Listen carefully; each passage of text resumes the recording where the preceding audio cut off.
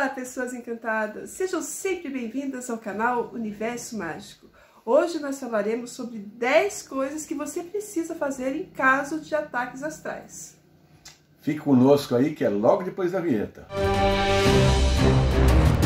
Então, pessoal, nesse vídeo nós vamos falar sobre as situações e como defender-se delas, porque assim fica mais fácil para cada um entender né, o que deve fazer diante de cada situação. A primeira situação que eu quero abordar aqui é quando você vê um espírito que se apresenta na forma humana. O que você deve fazer, Francisco, se aparecer assim para você um espírito humano? Bom, a primeira coisa é você tentar identificar o espírito, perguntar o nome, o que é que ele deseja. E é claro, muitas vezes o espírito ele não vai falar claramente, mas ele pode falar até mentalmente com você, telepaticamente. Então você tem que estar em alerta para tentar escutar.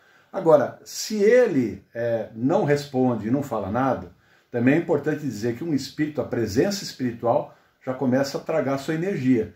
Então você peça para que ele saia, para que ele vá embora, né, para que ele não perturbe você. E também notar a sensação que a gente tem, se foi boa ou se foi ruim, se a gente ficou cansado, se coisas ruins aconteceram, se notícias chegaram, pode ser muita coisa.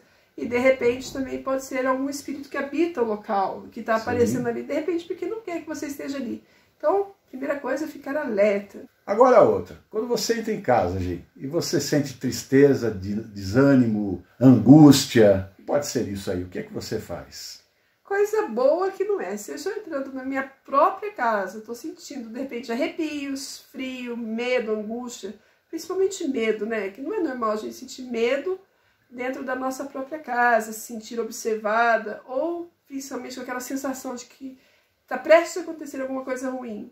É porque ali tem uma energia ruim e pode ser uma energia de um ambiente carregado, de repente você mudou para essa casa recentemente, pode ser alguma coisa que aconteceu ali, pode de repente ser algum espírito também que habita aquele local ou alguma coisa mandada para você, alguma coisa que está te acompanhando. Coisa boa não é, alguma coisa tem naquele local. Então, a primeira coisa, iluminar o local, nunca ficar no escuro ou dormir em locais assim com completamente escuro. Defumar o local, defumar com cascas de alho, com arruda, com coisas fortes para limpar bem aquele local, né? Limpar, arejar, abrir as janelas, iluminar, deixar o sol entrar à noite, deixar uma luz acesa, acender vela para o seu sagrado anjo guardião, acender vela para o arcanjo Miguel, pedir para ele proteger sua casa, ter plantas como espada de São Jorge, arruda, colocar sal grosso nos cantos para descarregar o ambiente e ver se melhorou. Se não melhorou, consulta, né, gente? Porque aí tem alguma coisa mais forte que você não está conseguindo lidar.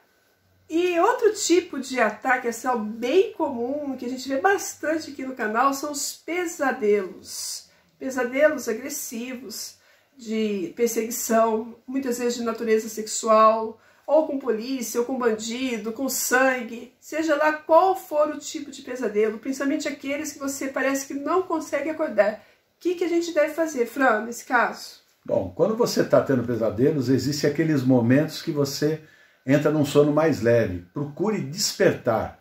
Procure fazer um esforço bem grande para acender a luz e vá comer alguma coisa. Porque quando você se alimenta, você automaticamente você bloqueia a ação do pesadelo. Né? Isso aí é muito importante. Depois outros procedimentos que você pode fazer também, como acender uma vela para o seu sagrado anjo guardião, fazer uma oração para você purificar o ambiente, para você ter um, um resto de uma noite mais tranquila. É, e não pense que é comer uma feijoada, não. Uma coisinha só, um assaltozinho só na geladeira, um pudinzinho, uma coisinha pequena, já dá que é para a gente ativar a nossa digestão. Pois quando ativamos a nossa digestão, a gente corta os elos com a espiritualidade. É por isso que as pessoas fazem jejum para orar, para entrar num campo mais espiritual, né? Porque aí não ativa a nossa digestão, que nos traz de volta para a nossa realidade do campo físico. Mas também, gente, é bom lembrar de fazer procedimentos antes de ter pesadelos, né? Antes de dormir, tomar um banho de ervas, defumar sua casa durante o dia, fazer um banimento no seu quarto, selar as portas e janelas com olhinho de unção, meditar e ter bons pensamentos, né? Porque tem gente que acaba de brigar com os outros, ou deita na cama com pensamentos ruins, né? Negativos, problemas, tudo isso interfere também. Não, é, não é só isso, gente. Inclusive, a gente escuta às vezes a pessoa falar: tenho todas as noites eu tenho pesadelo. Pessoal, você está tendo porque você quer, você não pode permitir isso. Tem não, que bloquear isso. também a pessoa não quer, ela não sabe, né? Ela é. precisa fazer uma consulta e se livrar desse travesseiro também, que eu já falei aqui no canal. O travesseiro fica com as nossas impressões, com a nossa energia e às vezes a gente já chorou muito nesse travesseiro, teve muito problema, raiva, né? Ou de repente teve uma separação. É lógico que esse travesseiro, quando você tiver com outro parceiro, outra parceira, vai atrapalhar o relacionamento de vocês. Então é melhor trocar por coisas novas. E sempre estar com um nível mental em alto. Pois a gente, todas as noites, sai do corpo. Ah. O nosso espírito sai mesmo que a gente não saiba. Se você está tendo pesadelos constantes, você está dormindo com a sua vibração mental muito baixa, está sendo arrastado elevada no astral para níveis baixos do astral. Se você dormir com um nível mais elevado, com certeza você vai para locais mais evoluídos. Mas também tem o caso que a gente não pode esquecer da pessoa que está sob demanda, que fizeram um feitiço ah, para ela, que fizeram um trabalho, que estão fazendo as coisas. Vai ser difícil, né? Então, neste caso, se com as defumações, os banhos, não estiver resolvendo, você deve procurar fazer uma consulta para ver o que é realmente cortar o mal pela raiz, pois nem sempre a pessoa consegue lidar com tudo sozinha. Chega um momento que ela precisa de ajuda mesmo. E agora, quando acontece aqueles efeitos físicos, objetos que seria impossível de se deslocarem e voarem para cima de você ou quebrarem mesmo da onde eles estão, pode ser esses efeitos físicos. Bom, aí existem dois tipos de coisas que podem estar acontecendo. Com certeza tem uma energia ali, uma energia forte, que pode ser inteligente ou não. Energia não inteligente é uma energia, por exemplo, um ambiente muito carregado com seus próprios pensamentos, com nervosismo, um ambiente que teve muita briga, um ambiente carregado. Fica né? saturado, né? Saturado. Então isso é uma energia e acaba explodindo. Lâmpadas, copos, que essas coisas acumulam energia e chega um momento, satura, explode. Mas pode ser uma energia inteligente. Energia inteligente são o quê? Espíritos, ou enviadas mentalmente por um mago, por um feiticeiro, que também pode causar Sim. esse tipo de coisa. Então, um espírito pode, de repente, atirar uma coisa em você, outro dia empurrar uma faca em mim. Com certeza, foi um ataque astral. O espírito claro. que está querendo só mostrar a presença dele vai jogar uma faca na pessoa. De repente, faz um barulho, faz uma coisa mais suave, mas, obviamente, uma faca é um ataque astral, coisas que nos assustam muito e coisas que são impossíveis ou que causam estouros, de repente, bate-pó. Isso aí são ataques astrais e a gente o que deve fazer? Acender todas as luzes, banimentos, defumações, orações, pedir proteção para os espíritos de luz, guiar um ovo energético ao seu redor para não ser atingido por essas energias agressivas. Agora convém lembrar também, quando a pessoa tem todos os aparelhos eletrônicos ligados, televisão fica aquela luzinha, computador, aparelho de som, tanto de aparelho que existe hoje em dia, e a pessoa deixa tudo ligado, aquilo cria uma teia eletromagnética, pessoal. Às vezes ocorrem fenômenos em virtude disso, porque os espíritos são capazes de captar essa energia para a ação física também. É importante você tirar da tomada tudo isso à noite, para você ter um sono mais tranquilo. E não podemos esquecer também que os espíritos podem sim se comunicar por rádios, televisões, celulares. É um tipo de ataque astral que assusta a pessoa. Então, desligar também é uma forma de cortar esse tipo de ação. Nós magos usamos a nossa espada mágica, porque a espada mágica ela tem o poder de diluir esse eletromagnetismo que os espíritos captam para se formarem, para fazer as coisas que eles querem. Então, para ele agir no campo físico, é porque ele já captou bastante. Nós, com a nossa espada mágica, que é consagrada e é metálica, consegue é, dissolve os fluidos dissolver eletro... esses fluidos. Mas é. as pessoas em casa não vão conseguir. Então, desliguem tudo, purifiquem ao máximo o ambiente. É muito importante você não deixar um ambiente favorável para a entidade maligna. Claro. Porque ela vai habitar conforme a energia está ali. Quanto mais você briga, quanto mais você xinga, quanto mais negativo você fica, mais favorável vai ser para os espíritos malignos. Então, já está nesse nível, o negócio é purificar mesmo, purificar muito e elevar bastante a vibração do ambiente. E você pode usar também plantas, né, pedras, amuletos, sal grosso pela casa, ervas diversas. Tem mil e uma formas de purificar o seu lar. E aqui no canal tem vários vídeos sobre isso, né? Tem plantas e objetos, coisas positivas para o seu lar. É só você dar uma maratonada aí no canal. E se você já está gostando desse vídeo, não esqueça de se inscrever aqui no canal e ativar o sininho para não perder os próximos.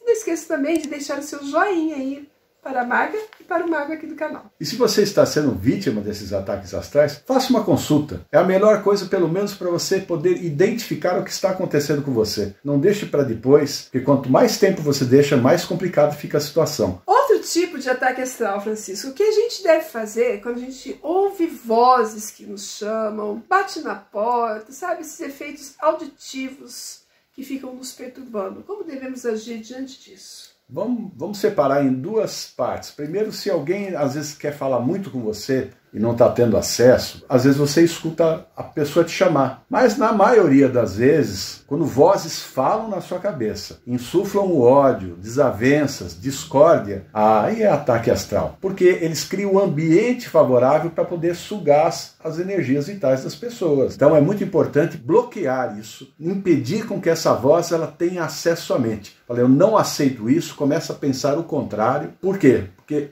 isso está te deixando desequilibrado. Então não permita que isso ocorra. Corte o efeito disso enquanto é tempo. E uma dica que eu vou dar para as pessoas que eu já identifiquei que acontece comigo. Por exemplo, acontece um ataque astral e de repente parece que eu estou escutando a voz de uma pessoa. Uma pessoa que de repente pode estar com raiva, que não gosta, que tem inveja. Sempre eu sei que o ataque vem desta pessoa. Ou eu escuto a voz dela e acontece alguma coisa, ou fica sonhando, ou lembrando demais e acontece alguma coisa. Então eu já sei quem está me atacando. Então é um ponto para vocês ficarem ligadinhos. Caso alguém esteja fazendo feitiço para você, esteja acontecendo acontecendo alguma coisa aí com você na sua casa, você lembra toda hora da pessoa ou escuta a voz da pessoa, é como se ela não saísse da sua mente. É porque pode ser que ela está atacando mesmo você através de magia. Fique esperto. E agora você chega em casa e de repente vê uma forma assustadora, geralmente um espírito trevoso. O que, que você faz nessa hora? Bom, o que eu faço as pessoas não podem fazer, mas o que é correto fazer é acender as luzes, nunca ficar escuro, lembrando, defumar a sua casa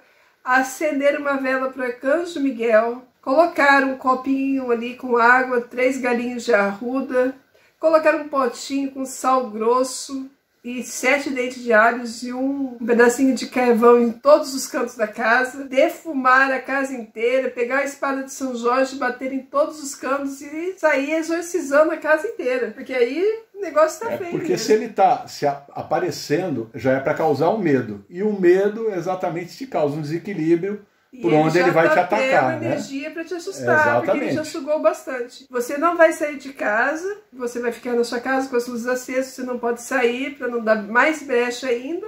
Vai fazer toda a proteção espiritual, de acordo com a sua religião também, você vai orar aí, vai fazer sua proteção e vai ligar pra gente correndo, né? A gente vai marcar uma consulta e vamos ver como podemos ajudar você. Porque quando já está nesse nível, você não pode enfrentar sozinha. Essas entidades não vêm sozinhas, elas têm legiões de espíritos, elas geralmente estão comandadas, obstinadas, e a pessoa precisa de uma egrégora para poder enfrentá-los. Ela não vai enfrentar sozinha, não vai bancar o herói, porque coisas ruins podem acontecer. Você pode se machucar, pode ser possuído. Enfim, chegou o momento de pedir ajuda mesmo, porque a coisa está grave. Bom, agora vamos falar de uma coisa que acontece com a maioria das pessoas, até as pessoas que não vê nada, não ouve nada, sentem. Caminhos fechados. Caminhos fechados no amor, no trabalho, saúde. Começa a dar tudo errado na vida da pessoa, a família briga com ela, os amigos se afastam, ela fica isolada. Parece que ninguém gosta dela. Eu digo assim, parece que a pessoa tá fedida, ninguém chega perto. O que, que pode ser isso? Isso é um tipo de ataque astral também. O que Sim, a é um tipo de pessoa deve fazer? Com certeza isso aí é algum tipo de feitiço, alguma demanda foi feita contra você. Fechou na esfera de relacionamento, saúde e na parte financeira foi afetado, então aí tem alguma coisa. E às vezes as pessoas querem fazer trabalhos de amor, de prosperidade e não dá certo. né? É, não dá certo. Vai no médico, não É. o problema da saúde dela, Exatamente. Faz exames, não acontece nada. A pessoa até fala, muitas vezes eu fiz todos os exames, não deu nada, mas ela tem sintomas de que ela está doente. Então o que é isso? Esse é o efeito do trabalho. Muitas vezes a pessoa tenta fazer algum procedimento, mas esse procedimento dá um efeito elástico, quer dizer, por um tempo afasta a entidade, só que quando volta, volta pior ainda. Então, muito importante, fazer uma consulta, Vamos identificar o problema, ver da onde que vem a origem desse ataque, cortar o mal pela raiz, para que você se veja livre de uma vez por todas desse problema. Às vezes a pessoa quer fazer um negócio mesmo pro amor e não dá certo nada, não adianta. Enquanto não corta, não dá certo. De repente, só cortando, as coisas já voltam ao normal, sim, já começa sim. a fluir, nem precisa do outro tipo de trabalho. Então isso é muito importante, saber o que está acontecendo, identificar e cortar pela raiz, senão não adianta nada. Por isso que o pessoal fala, ah, o trabalho não deu certo, o trabalho não deu certo, porque não me pode. Vamos tirar uma dúvida muito importante. Às vezes a pessoa fala assim, olha, o meu companheiro, a minha companheira foi embora e eu tenho certeza que foi vítima de magia. E ele foi embora. Às vezes você faz o trabalho, quebra o efeito, muitas vezes a pessoa volta. Não precisa da amarração. Não precisa fazer amarração, porque cai a ficha. Você afastou o mal. Afasta de você, vai afastar da pessoa também. Os dois foram atacados, os dois foram afetados. Então é muito importante que vocês tenham isso na consciência. E na vida financeira também tem também. muito isso, principalmente no trabalho, onde tem interesse, gente. As pessoas fazem mesmo em causas judiciais, heranças, trabalho, até mesmo conseguir uma vaga no trabalho, tem muito, tem que estar tá sempre cuidando do nosso lado espiritual, da mesma forma que a gente cuida do físico. A gente é corpo e espírito. Tem como uma coisa viver sem a outra. E se uma não vai bem, a outra também não vai. Muito importante cuidar também da espiritualidade. Outro caso agora, quando a pessoa mexe com algum tipo de magia negra ou goécia, mexe com entidades trevosas, enfim, e aí vem aquele choque do retorno. O que, que ela faz aí, gente? Ela também pode frequentar lugares duvidosos que as pessoas Sim. usam de má fé com ela, né? Existe N coisas que a pessoa mesma abre porta. Isso é a pior coisa. É pior do que um feitiço mandado para você, porque um feitiço pode até pegar. Agora, quando você deu permissão, quando você mesmo abriu as portas, aí não tem jeito. Aí é muito complicado e a pessoa tem que ter noção do que ela está fazendo. Ela tem que ser um mago para saber tirar isso, porque senão ela vai só complicar mais as coisas. Então, nesse caso, eu não vou aconselhar você fazer nada. Só uma consulta para ver, né, como que foi feito, o que aconteceu de fato, por que você está com essa ligação, para poder cortar esses elos energéticos. Porque nós criamos elos com as entidades, com as pessoas, com pessoas que sentiram raiva da gente, com entidades que a gente abriu. A pessoa acha que ela entra num ciclo mágico, ela colocou um capuz, a entidade não vai reconhecer ela quando sair do ciclo mágico, a entidade não está lá para ver seu rosto. Nós temos uma vibração energética. Essa vibração é como sintonizar um canal, um rádio, uma TV. Você sintoniza com uma pessoa que que você ama, você sintoniza com uma amizade. Uma vez que você sintonizou, você sente aquela pessoa, você sente a energia daquela pessoa. É assim que a entidade sintoniza com você. Você vai sair do ciclo mágico, você vai ficar desprotegido e a entidade vai poder te atacar. Não é, não é só naquele momentinho ali que você precisa de proteção. Então esses elos precisam ser cortados magicamente. E para fazer isso tem que ser um mago, porque senão você vai enfrentar coisas poderosas que podem te atacar e pode ser perigoso. Então nesse caso, consulta, né? E aí a gente vai ver como podemos ajudar você e o que precisa ser feito. Às vezes uma consultinha, uma coisa simples que você aprende numa consulta, você identifica o seu problema e as coisas começam a andar. Então não fique procrastinando. Marque seu horário, porque plano espiritual interfere muito mais do que você imagina na sua vida. Interfere todo dia, o tempo todo. Bom, agora vamos falar de um sintoma que às vezes a pessoa pensa que está até morrendo. A pessoa pensa que está morrendo, que ela está doente, mas ela está com muita dor no corpo, muito cansaço, abrindo a boca sem parar, desanimada, sem força para fazer nada, pensa que está enfeitiçada, mas não está. O que, que, é isso, Francisco? Isso é aquilo que é popularmente chamado de quebranto. É oriundo de inveja de outras pessoas, tem raiva de você por algum motivo, então você acaba captando aquela energia para você e você você se sente mal. Mas é, dói mesmo. Dói, o corpo dói, dói, dói bastante. E principalmente as pessoas colocam quebranto não é nas coisas que você compra. Pode até ser, de repente você comprou um carro novo, o carro quebra, pode ser. É, Mas elas colocam quebranto na sua beleza, na sua inteligência, ou porque você consegue resolver os problemas da sua vida, enfrentar, no seu jeito de ser. Geralmente é na própria pessoa que é colocado o quebranto. É por isso que o nenezinho recém-nascido pega muito quebranto e começa a chorar muito, ele tá sentindo muita dorzinha no corpo. Aí precisa colocar fitinha vermelha nele, colocar figuinha, fazer proteção pro bebê. E pra gente também. Aqui no canal mesmo eu já ensinei a fazer amuleto com ervas para você carregar no seu bolso. Enfim, tem muita coisa aqui no canal que pode ajudar você. Usar seu talismã, usar pedras protetoras. Orações poderosas que limpam também, né? É, patuás, mil coisas de acordo até mesmo com a sua religião. Mas não fique andando por aí sem fazer nenhuma proteção, né, gente? Se já é adulto, tem que pensar um pouquinho e se proteger.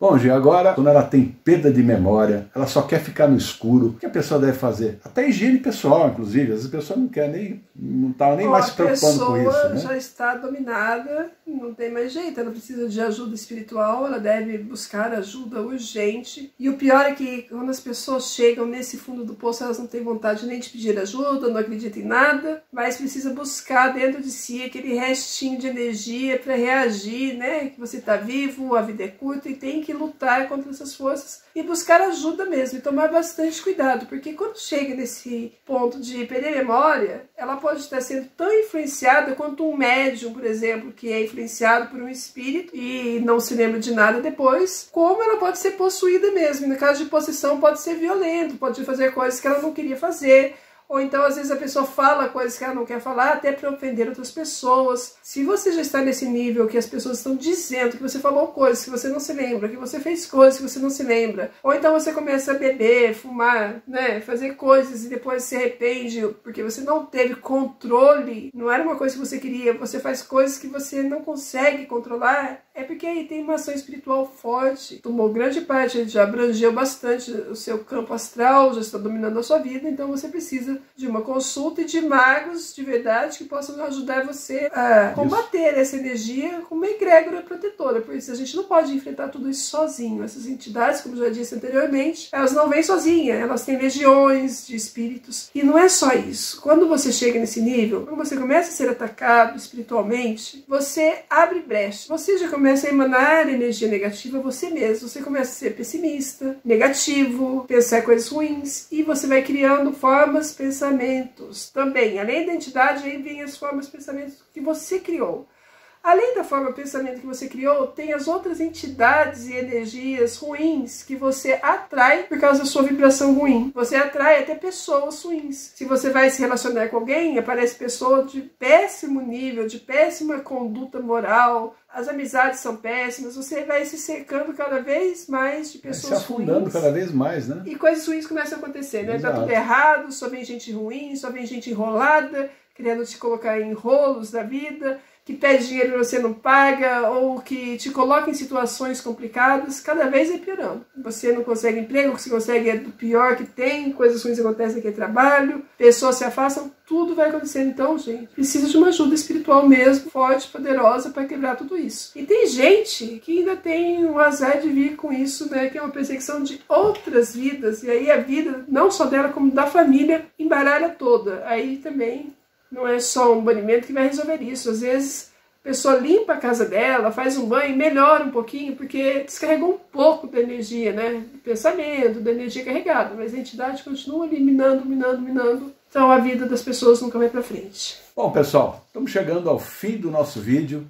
E se vocês gostaram do nosso vídeo, deixa um like aí para os magos. Não se esqueça de se inscrever no canal e ativar o sininho para não perder os próximos vídeos. E se você não estiver recebendo qualquer notificação, siga-nos no Twitter, está aparecendo aí na tela e você vai receber aviso de todos os vídeos que estão sendo publicados. E clique aqui embaixo em ser membro do canal. Se você quer ser um mago de verdade, venha participar da Irmandade dos Magos e aprenda com a gente. Tenho certeza que você vai amar. Beijo da bruxa e até a próxima. Até a próxima, pessoal. Tchau.